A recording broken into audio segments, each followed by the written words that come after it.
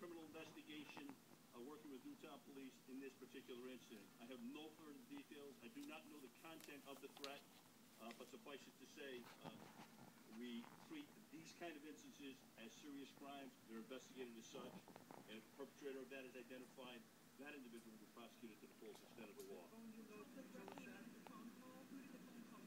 Again, that's, that's as much information as I have on it. Yes.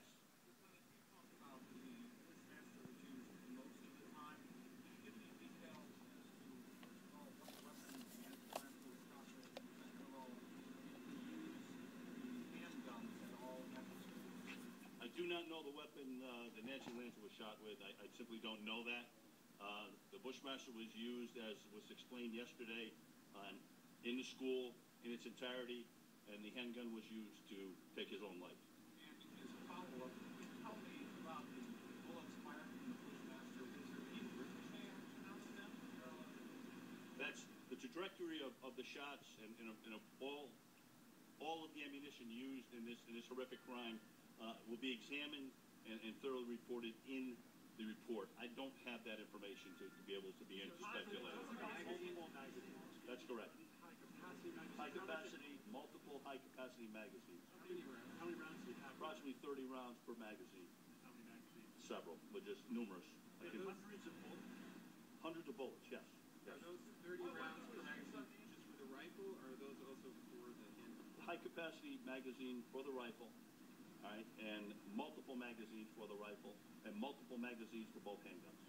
Lieutenant, is there any indication that their bodies I, I don't, I, I- don't want to state that. I'm, I'm sure they, they- did everything they could, but I, I don't want to get into that specific detail, Mike, at this time. Is it possible to information as to motive? Again, motive, as I, as I discussed earlier, that will come as we finish the investigation. We, we, we simply can't piecemeal it. We don't have a specific reason that we can stand here and say this occurred. Uh, we will, and we are searching diligently and nonstop to attempt to answer that question. Did the shooter take his own life as police were coming after? The timeline is being established by investigators, right? That's the best I can do with that. May we ask a point of clarification? You can, sir. You're talking about the plans for the school. Well, the Newtown schools remain closed all week, and I think you were indicating that the plans for the school building itself are still very active. Yeah, go ahead, go ahead, Ned. Yeah, that's correct. We're still, we're still working with the uh, superintendent of schools to do what's best. Uh, Obviously, it's an emotional time. Um, The pl- the the plan right now is still up in the air. They're finalizing the plans, and we'll- we'll get that information out to you as soon as possible. Is it safe to say that the Newtown schools are closed for this week? A- As I said, it's still, still to be determined. Yeah. Do we know how many shots were fired yet? That's impossible to say. Uh, It, it, there, we do know how many rounds we've recovered. We do know how many shell casings we've recovered. I don't have that information to, to publicly give out just yet. I can't, I, I'd be speculating and guessing. Numerous, again, that's, that's all investigatory information that I'm not privy to. I, I simply don't have that to give you. Lieutenant has a time. Many, many, hundreds, hundreds. Yes, sir. Hundreds. Correct, correct. Lieutenant, Sir?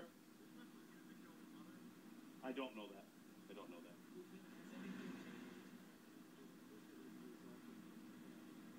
No, the President of the United States is, is uh, attending uh, memorial service tonight. He is coming to, uh, to the, to the town of Newtown. what is the security and access like for that, uh, so the public can also kind of be, Yeah, they, uh, again, we don't discuss the secu- security for the President of the United States. Suffice it to say that uh, significant security will be in place, as is always the case when the President makes a visit anywhere. Lieutenant has a time frame for Ms. Lanza's No, sir. No, sir. No time, no time frame has been uh, determined. Who's invited to the memorial? Yes, sir. Are you making progress that you feel in determining the motive? Yeah, certainly, uh, we're, we're pleased with the work that's been done so far. I'm hoping that that, that helps answer that question. We're pleased with the progress that we're making. This is a very long, tedious process, which I've stated. It's going to take many, many man-hours, okay, to attempt to draw this picture together, to put this puzzle together. The minute we have it, our, our objective here is to make sure that you, uh, the members of the public, receive that information as quickly, as efficiently as possible. Uh, But to state right now that we have a motive, uh, that we have a motive we're prepared to discuss publicly, it just cannot happen. We just do not have that information for public dissemination. Go into any detail about the teacher who saved the children by putting the, the children into a closet? No, I would, I would, uh, again, I, I don't wanna discuss the crime scene at all. Your man?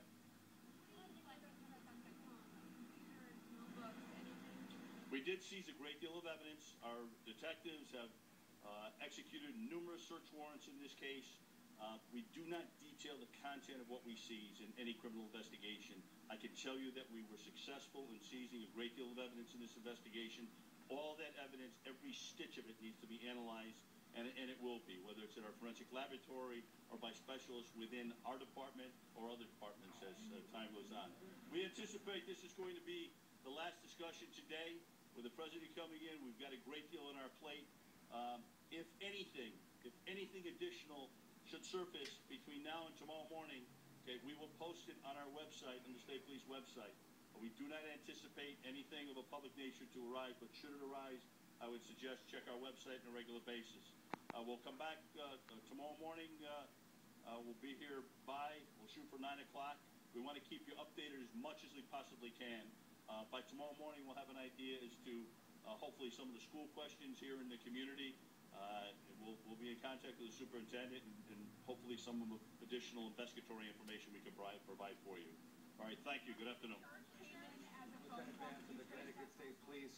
And the, the headline here is that for actually the first time, the police have now identified 20-year-old Adam Lanza as the shooter. They had not done that up to this press conference. And they say that he uh, was pronounced dead, ruled his death ruled a suicide. They also finished the autopsy on his mother, Nancy uh, Lanza, whose death was ruled a, a homicide.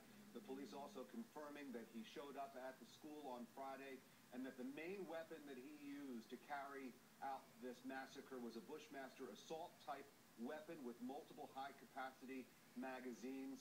He fired off many bullets. He had hundreds still on him that he hadn't yet fired off at the time that he pulled out one of the pistols that he had and killed himself. Heather Childress joins our coverage right now.